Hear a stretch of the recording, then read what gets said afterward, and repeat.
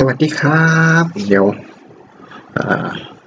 วันนี้มาดูการแก้ปัญหาของ DaVinci Resolve นะครับ ใครที่ใช้อยู่แล้วมีปัญหาเวลาเปิดโปรแกรมขึ้นมาแล้วมัน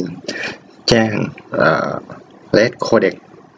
Fail อะไรพวกนี้นะครับ มีวิธีการแก้ปัญหาอยู่นะครับ เดี๋ยวดูตัวอย่างก่อนหน้าจอผมยังล็อกอยู่เหมือนเดิมนะครับ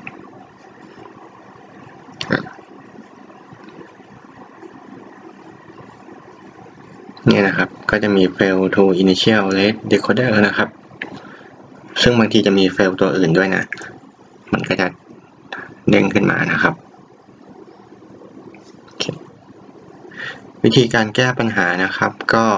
อันนี้ทำได้ง่าย ๆเลย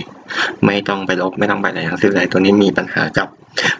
ตัว m u torrent นะครับนี่นะครับตัวบิต torrent ตัวโปรแกรมโหลดบิตนะ ใครใช้อยู่ก็เข้าไป ปิดตัว Bit Torrent ก่อนที่จะ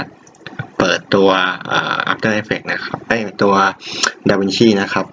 นี่นะครับ